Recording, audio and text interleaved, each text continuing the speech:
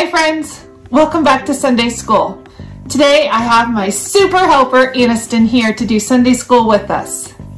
Well, I want you to think about someone special, someone that makes you feel so good and so special when you're with them.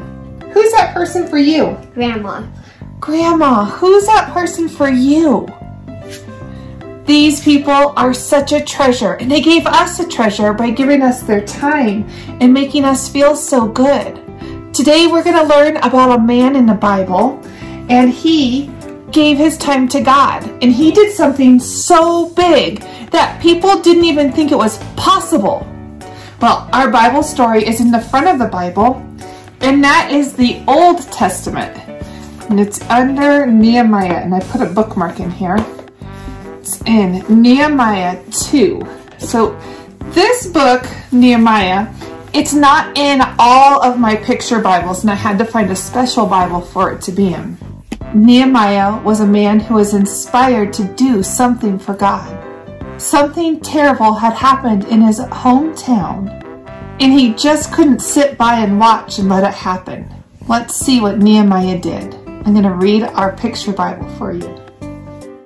Today, our story comes from the Bible called Friends with God Story Bible Why God Loves People Like Me. Written by Jeff White, illustrated by David Harrington. The story is called Up Against the Wall.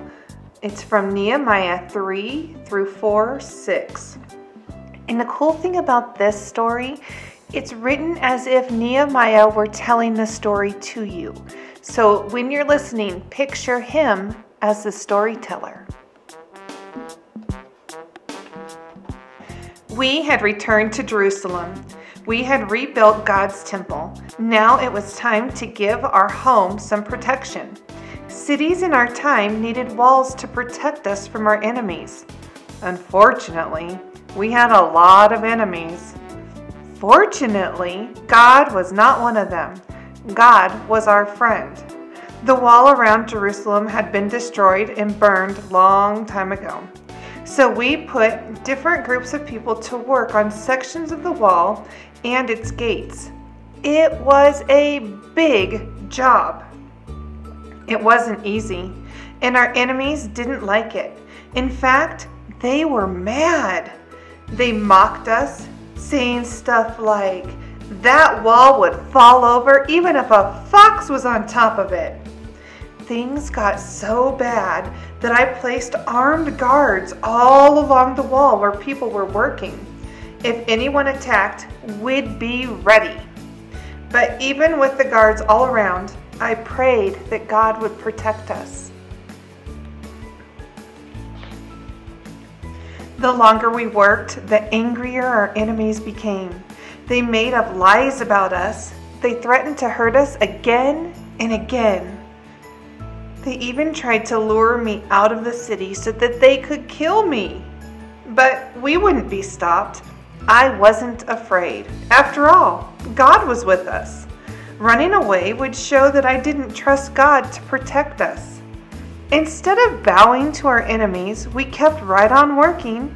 We stayed faithful to God brick by brick, beam by beam, and nail by nail. Not only did God protect us, but God also helped us work fast too. We finished that wall in just 52 days. Imagine that! The entire wall rebuilt around the whole city of Jerusalem in less than two months. Thanks be to God. Now our enemies weren't angry, they were frightened. They could see that God was with us. I'm still amazed at how our people came together to finish that wall. Every time a little doubt or fear started to creep in, we'd remind each other that God was with us.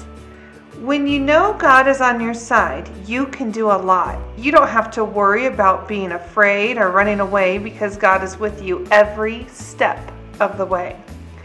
They say time flies when you're having fun. Now, I wouldn't say that building a wall was fun, but time did fly by for us because we were focused on God. try my lesson. Do your best today to stay focused on God. There are a lot of things that can distract us, but take a minute here and there to remember that God is always with you. God is a true friend who will never leave you. From Nehemiah. Nehemiah was only one person, but when he committed to using his time for God, he led and inspired people to work alongside him. And together, with God's help, they accomplished something that others thought were impossible.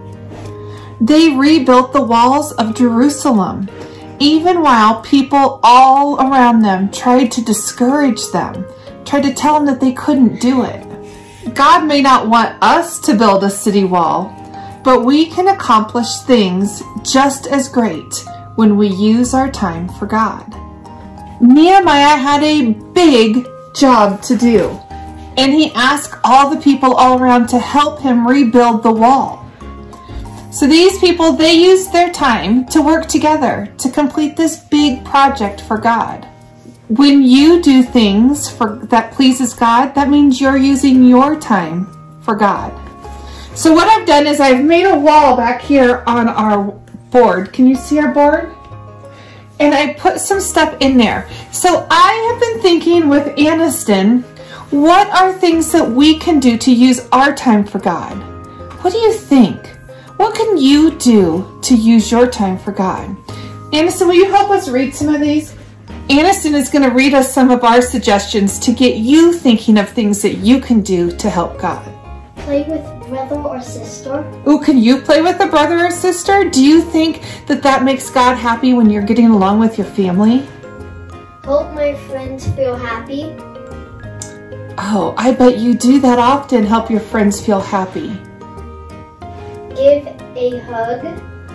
Who can you give a hug? Is there somebody that might be sad that could use a hug from you?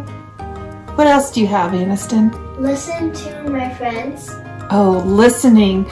It's always good to be a good listener. Help my family. Oh, help my family. That is such a good one. I bet there's lots of things you can do to help your family. Read a story to someone? Can you read a story to somebody? Maybe even a Bible story so they can learn all about God's great big love. Clean my room. Oh, that's a big one. Cleaning your room makes our house feel clean and all put together and it makes our family feel better when things are all picked up. One more. Draw a picture for a friend. Oh, draw a picture for a friend. Friends love it when we get things um, from them. Does your friend draw you pictures ever? Mm-hmm. And I bet you do the same for your friends. It's so good to do things for others. One thing that we can do um, to give freely is our time. And do you know how many minutes we have in a day? We have 1,440 minutes every single day. Let's see how long we can stand on one foot for a minute. Are you ready? Get up. If you're sitting down at home, get up. Let's see. And I'm looking at our second hand. Are you ready? Set, go.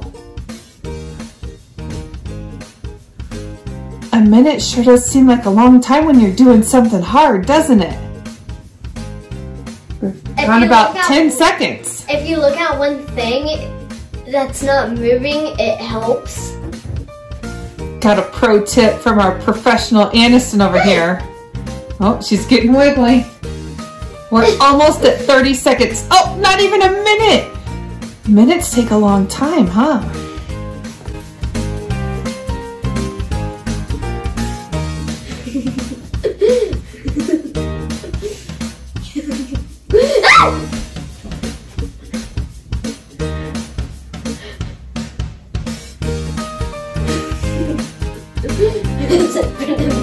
Almost. Here we go. Five, four, three, two, one. Good job. Good job, everybody at home. And good job, Aniston. That was hard. So a minute may be longer than you think. What can you do for God in just one minute? What do you think you could do? Mm. Cartwheel. You can do cartwheels? I did a hundred one time. You did do a hundred. What can you do for God in one minute? Maybe you can say a prayer or tell somebody something nice to make them feel good. What can you do in one minute for God? Because you have 1,440 of them in one day. So even if you just give God a minute of your time, that helps put God's love right close into your heart. And so you have it first and you can remember. Mm-hmm. Okay, for our next activity, you need a piece of paper. It can be a scrap paper and a red marker. Go get that and we'll go get ours. Well, we use our time in all kinds of different ways. Um, we want to try to use our time for God and to do things that please God. But sometimes we get distracted and things get in our way and we forget to put God first. But we can remember to stop and to be like Nehemiah. Nehemiah didn't let anybody distract him from building that wall. So we're going to do an activity.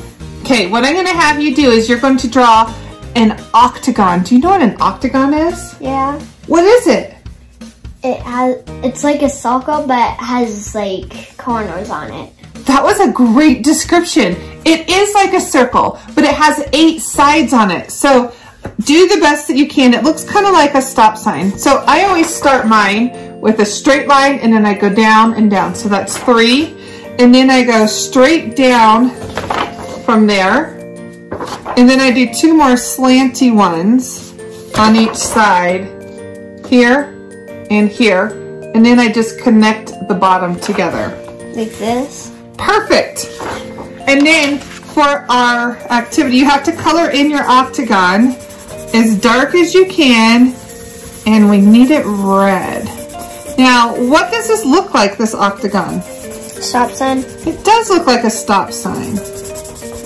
Once you have your octagon colored, you need to hold it close to your face. Okay? So you're going to hold it close to your face Ow, I about on my face on accident. See, I want you to hold it about three inches away from your face, away from your eyes, and I need you to stare straight at your stop sign. Don't look anywhere else until I tell you. Are you ready? Ready? Okay, and while you are looking at your octagon, oh, hold on, keep oh, looking. Okay. Put it three inches closer. While you're looking at it, I'm going to give you examples of using your time for God while you stare at that octagon. So look real closely at it. You can volunteer to clean the yard around the house. You can write welcome cards for new kids at church. You can volunteer to help leaders on Sunday morning. You can read the Bible to who can't read quite yet. Nehemiah didn't stop giving his time to God, even when others wanted him to. Let's see what he did do. When I count to three, I'm going to have you close your eyes and focus on what you see. It'll probably surprise you. Are you ready? One, two, three. Close your eyes. And what do you see? I see it. What do you see? A green octagon. A green octagon? Is that what you guys see too? So when you're focusing on God, you don't get a red stop sign to tell you to stop. You get the green sign that means go, right? Just when you focused on the things that you can do for God, when you closed your eyes, you saw the green sign that means go and do good for God. Isn't that great? That's what we're going to try to do this week is focus on what we can do to use our time wisely. All right, well, we're almost done. Let's say a prayer before we leave. God, please help us to be wise in how we use our time that you've given us. Help us to use our time for you. In Jesus' name we pray. Amen. Thanks for joining us, my friends.